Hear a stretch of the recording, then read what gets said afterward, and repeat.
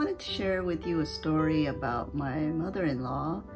She has dementia and sometimes she forgets to do simple things like flushing the toilet.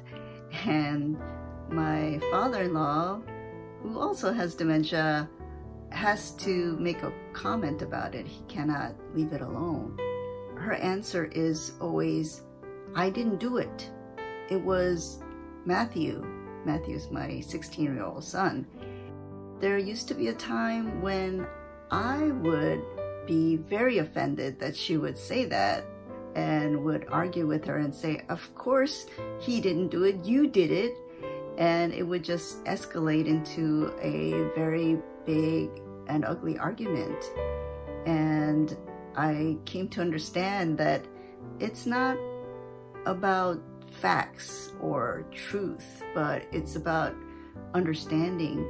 And, you know, that was a something that the Holy Spirit spoke to my heart and has gentled my heart. So these days when it happens, I don't get angry. I actually have sympathy for her.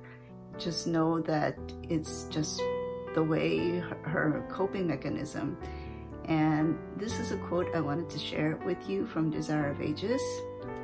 When the message of truth is presented in our day, there are many who, like the Jews, cry, Show us a sign, work us a miracle.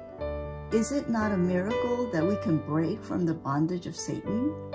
When one who has been controlled by a stubborn, wayward will is set free and yields himself wholeheartedly to the drawing of God's heavenly agencies, a miracle is wrought so also when a man who has been under strong delusion comes to understand moral truth.